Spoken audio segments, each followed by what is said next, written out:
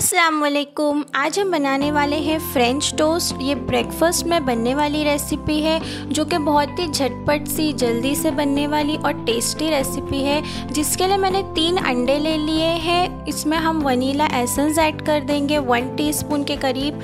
Two tablespoon powder sugar add करेंगे।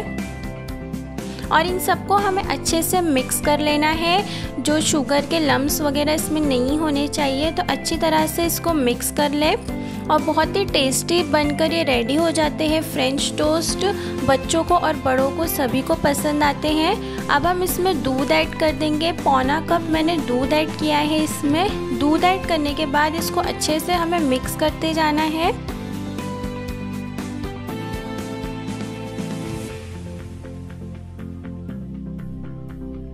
तो ये देखिए, इसको बैटर हमारा बनकर रेडी हो चुका है फ्रेंच टोस्ट का।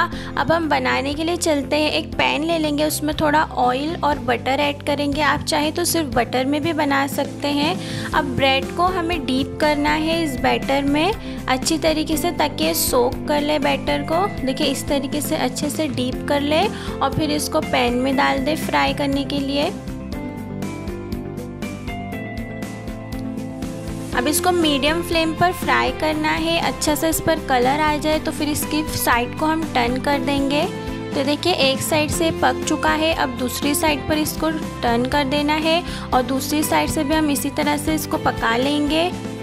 तो देखिए फ्रेंच टोस्ट हमारे सारे फ्राई होकर रेडी है। इस पर थोड़ा हनी डालना है। हनी डालने से बहुत ही ज़्यादा टेस्टी लगता है ये। और हनी डालने के बाद हम इस पर बटर डालने वाले हैं, जिससे इसका टेस्ट और भी बढ़ जाएगा।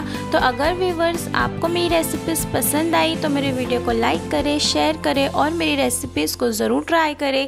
मेरे चैनल को सब्सक्राइब करें और बेल बटन को ज़रूर दबाएँ। अल्लाह हाफिज़।